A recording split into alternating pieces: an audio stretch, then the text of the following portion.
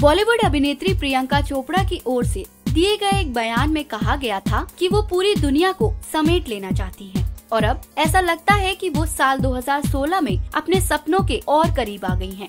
दरअसल इस साल वो पीपल चॉइस अवार्ड जीतने वाली पहली दक्षिण एशियाई अभिनेत्री बनी है ऑस्कर और एमी अवार्ड्स के मंच पर वो कलाकारों को पुरस्कृत करती भी नज़र आईं।